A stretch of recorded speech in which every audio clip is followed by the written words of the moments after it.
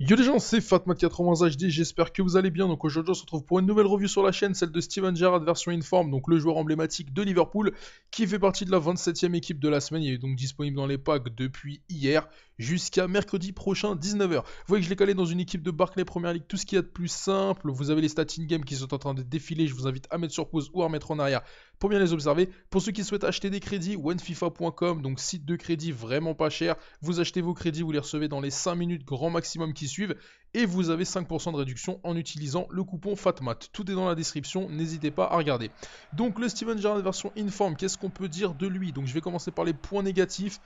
Euh, dans les points négatifs, donc j'ai mis sa stat en saut détente qui est vraiment, euh, vraiment faible. Ça tourne à 65, quelque chose comme ça. Il est, bon, il est bon de la tête, mais sa stat en détente peut poser problème des fois dans, certains, dans certaines situations aériennes. Ensuite, euh, j'ai mis son agilité. Donc au niveau de l'agilité, c'est vraiment, vraiment faible. Je trouve que le joueur est vraiment... Il est vraiment robotique. On va dire qu'il est vraiment robotique. C'est-à-dire que sur les crochets, c'est vraiment lent dans l'exécution. Tu sens que le joueur est lourd. En fait, tu sens que le joueur est lourd. D'ailleurs, au niveau de la vitesse, euh, pareil, sa vitesse peut poser problème. En tant que, en tant qu'MOC, autant qu'MOC, ça pose pas vraiment de problème, c'est vrai. Donc euh, ça, je vais en parler maintenant. J'ai joué avec en MC, en MOC. Son meilleur poste, ça reste euh, MOC. Il est vraiment exceptionnel en 10.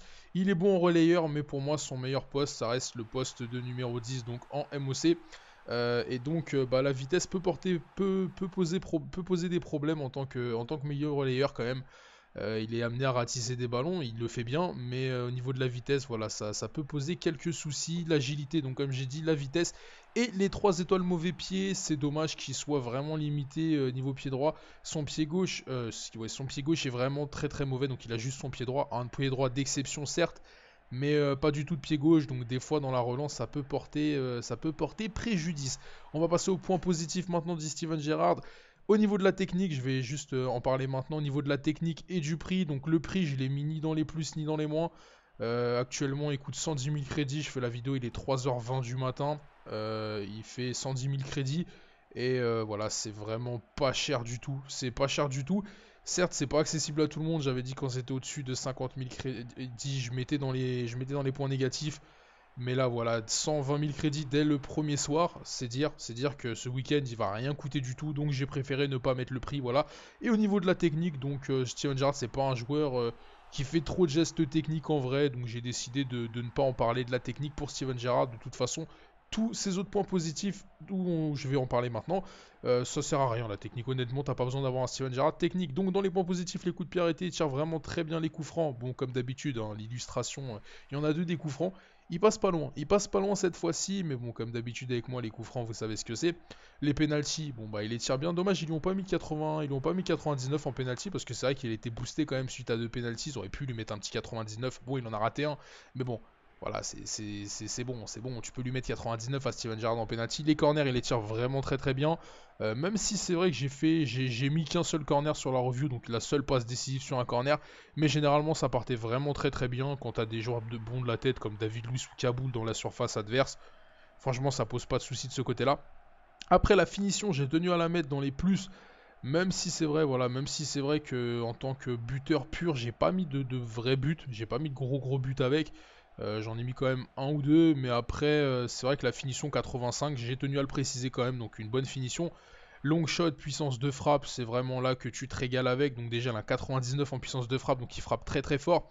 Au niveau du long shot, il a une stat de 93, donc forcément, pareil, hein, forcément, ça aide énormément pour tout ce qui est long shot.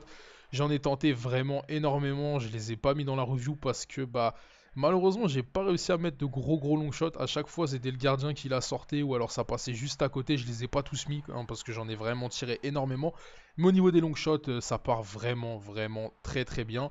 Et c'est une dinguerie, c'est une dinguerie si tu veux mettre des long shots avec lui. Pour tout ce qui est le positionnement, j'ai quand même accéléré parce qu'il reste, après ce qu'il plaît, il reste qu'un clip. Au niveau du positionnement, toujours bien placé, il fait vraiment de très bons appels. C'est pour ça qu'en tant que 10, euh, offensivement, c'est ce qu'il y a de mieux. C'est ce qui se fait de mieux, c'est de le mettre en, 10 parce que en MC, il va monter énormément. Même s'il fait le taf défensivement, en MC, il va monter énormément et ça peut poser problème. Et un autre point positif, sa qualité de passe qui est juste exceptionnelle. Donc voilà, je vais en parler maintenant, je vais rentrer dans les détails maintenant. Donc Steven Gerrard version informe, vous avez le bilan actuellement. Donc dans les points positifs, coup de pied arrêté comme j'ai dit, euh, pour tout ce qui est donc corner, coup franc, penalty, les tire bien. Effet, force, la force, j'en ai pas parlé, mais un 85 en force, il tient vraiment très bien sur ses jambes malgré sa stat en équilibre de 60, euh, il a un 64 ou 65 en force je crois. Euh, malgré ça, son 85 en force fait quand même la différence, je trouve qu'il tient vraiment bien sur ses jambes, il a un gabarit vraiment, euh, bah, vraiment très intéressant, il tient bien sur ses jambes et c'est du lourd. Vision du jeu, une vision du jeu exceptionnelle, volée. Finition, donc comme j'ai dit 85 en finition, c'est du bon contrôle, il fait de très très bons contrôles de balles. Long shot, 93 en long shot, donc forcément forcément tu t'amuses. Agressivité, euh, il a une grosse grosse stat en agressivité, donc si vous le mettez en, MOC, voilà, ça va être euh, l'un des premiers presseurs, il va, il va presser les défenseurs tout le temps, même en relayeur, même en récupérateur, je l'ai pas essayé en récupérateur parce que je ne me voyais pas mettre un Steven Gerrard en milieu récupérateur dans le jeu, mais euh, voilà, donc en relayeur ou en MOC, son agressivité sera vraiment utile. Son jeu de tête, donc il a une bonne stat en tête, en précision de la tête, pour, pour son mètre 83, c'est vraiment très intéressant. Tacle debout, 1,75 en tacle debout, donc euh, bah, si tu le mets en relayeur, voilà, il pourra, il pourra, il pourra faire des, petits tacles debout si tu joues sur, euh, sur l'anticipation. Il a pas une stat énorme en, euh, interception, en interception plutôt, je, ne trouvais pas le mot, je confondais anticipation et interception, mais pas, une, stat énorme en interception, mais si tu arrives à bien gérer au niveau des, des, tacles debout, ça passe crème. Positionnement, donc comme j'ai dit, toujours bien placé, fait vraiment le bon appel. c'est pour ça que des fois, si vous le mettez en relayeur, des fois il va faire des montées, des il tape des vraies montées quand même. Il tape des montées vraiment... Euh, ah, il y va, il y va, il y va pour marquer des buts. Euh, qualité de passe, voilà, vraiment une qualité de passe exceptionnelle, que ce soit les centres, les passes en profondeur, les passes courtes pour euh, tout ce qui est relance, ou les passes lobées, voilà, tu t'amuses avec lui, puissance de frappe 99. Et donc dans les points négatifs, j'ai mis saut, agilité, vitesse et les 3 étoiles mauvais pied, comme j'ai expliqué, pas besoin de, parler de technique avec Steven Gerrard, c'est pas forcément un joueur qui fait des skills dans tous les sens en vrai. Et euh, bon, on n'en a pas besoin. On n'en a pas besoin. Il peut mettre des petits crochets vraiment sympas dans le jeu. Et ça suffit. Vous voyez le bilan avec? 8 matchs, 4 buts, 6 passes décisives. Donc un, bon bilan. Un bon bilan quand tu sais que j'ai fait euh, la moitié des matchs en relayeur. Donc pas forcément dans un rôle où, où tu dois marquer et faire des passes décisives. Mais voilà, donc un bon bilan. 4 euh, matchs en relayeur, 4 matchs en MOC. J'ai j'ai fait un mix, j'ai fait un mix entre les deux et donc une très bonne note de 17 sur 20.